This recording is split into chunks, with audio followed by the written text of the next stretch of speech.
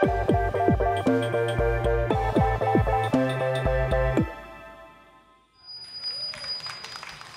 everyone. So my name is Claudia. I'm a Mexican software engineer currently working for NPM. So um, a little bit of context. I'm actually from this city called Monterrey, Mexico.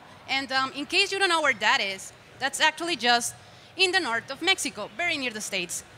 Um, so what was happening in my life in 2014? So in 2014, I was getting my degree in computer science. Um, and being out of school, um, I asked myself, how can I continue learning?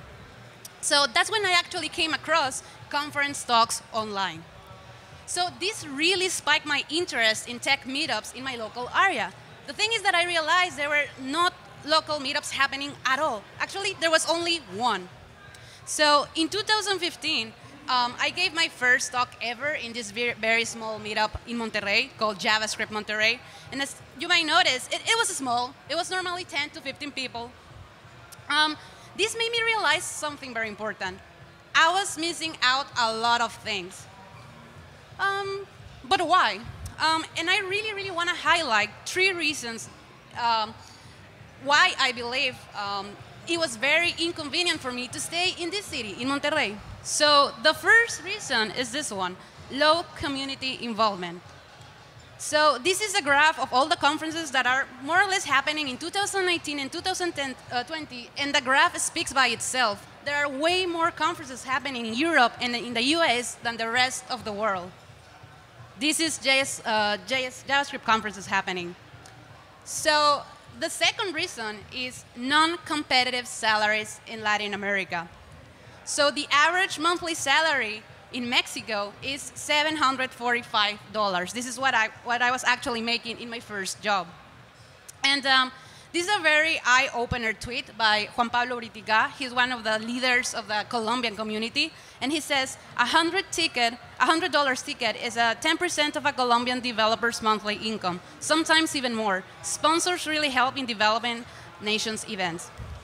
So in that fashion, a $100 ticket is 13% of Mexican developers' monthly income. So I already mentioned that there are not a lot of things happening in Latin America. So on top of that, if you want to actually go to a conference, you have to pay accommodation, you have to pay the ticket, and you have to pay the flights. So, you know, we don't have a lot of options. And the third one is expensive infrastructure in Latin America. So long story short, basically what this means is that we're paying more for slower services. So now that we have these three reasons, in 2015 I decided to move from Mexico. And uh, in 2015 I moved to Paris. And the incredible thing that happened once I moved to Europe is diversity scholarships. So in 2015 I got a scholarship for JSConf Europe.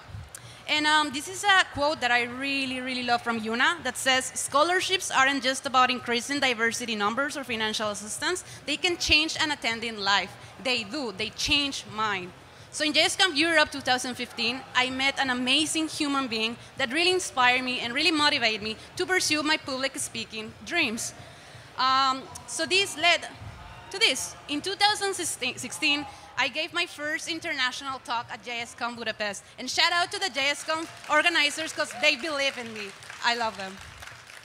So funny story as well. Um, the edition after the one in which I was uh, in for, with a scholarship, I came back as a speaker this time. So it was a mind-blowing experience to be sharing the same stage with the same person that the previous year actually inspired me to be in the stage in the first place. Amazing experience. Um, and the rest, the rest is history. After this opportunity that I got with JSConf Europe, I attended more meetups and stuff. But all of this wouldn't have been possible without the help of that community, without the meetups that I attended and the conferences that I've been to. So I, what I really, really just want to ask to you is to help create these communities. For people that aren't as lucky as I was to literally switch countries to sort of search for these opportunities. So what can we actually do? We cannot change internet bills, we cannot change salaries, but we can help organizing and funding meetups and conferences around the world. So please get involved, attend your local meetups, help the organizers, give back to the community. And this is just one of the examples. This is Lima.js. Uh, you can actually sponsor the meetup. Uh, Lima is in Peru, one of the South American meetups. and um, spread the word. Help other communities be built. And um, with that being said, um, I want to make an announcement.